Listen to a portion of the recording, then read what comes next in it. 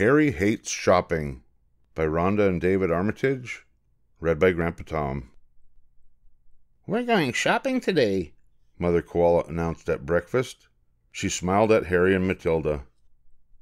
I don't want to go shopping, growled Harry. I hate shopping.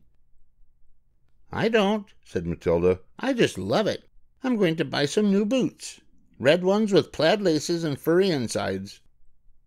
I'm not sure about red, dear, said Mother. They might not have red. A nice brown pair would be more sensible. Koalas look very stylish in brown. I'm sorry about the shopping, Harry, but you really do need new school shoes. No, I don't, protested Harry. There's nothing wrong with my white sneakers. They're fine. Mother Koala sighed. If you're both very good, we'll have lunch after we're done shopping. Matilda danced along the sidewalk. Harry trudged behind. Suddenly, Matilda fell over. Mom, she wailed. Harry tripped me. He stuck out his foot and tripped me. Harry, said Mother, what's the matter with you? Do you have to be such a pain? Matilda is being a pest, said Harry. All that skipping and dancing, she's such a show off. Mother sighed. First, they went to the drugstore. Matilda pinched Harry while Mother was buying toothpaste. Mom! Harry yelled. Next, they went to the bakery. Harry pinched Matilda while Mother was buying rolls. Mom! Matilda cried loudly. Mother marched Harry and Matilda outside. If you two don't stop arguing, she growled, I'm going to get really angry. At last they reached the department store. One more word out of either of you, said Mother, and I don't know what I might do. While Mother was busy looking at some new t shirts, Harry stuck his tongue out at Matilda. Mother, wailed Matilda. Harry's being horrible again. He's making faces at me. And then she stopped and stared at her mother. Mother Koala had picked up a pair of very large purple bloomers.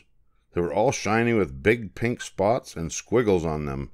She held them up in front of her and began to sing in a loud, tuneful voice. Purple bloomers, purple bloomers, oh, how you shine and glow. Purple bloomers, purple bloomers, I will never let you go. Harry turned bright red and dived under a chair. Mom, hissed Harry. Stop that. Everybody's looking. Please stop. Matilda's eyes opened wide. She hid behind the counter. Mother Koala went right on singing, and while she sang, she danced. Mom, whispered Matilda. You're embarrassing us. Please stop. Mother smiled at Matilda and waved at Harry. I'll take these purple bloomers, she said to the salesperson. How much are they?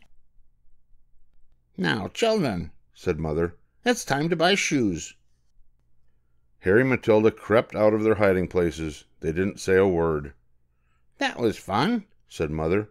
I've always enjoyed singing. The shoe store didn't have red boots. The salesman suggested a bright green pair instead.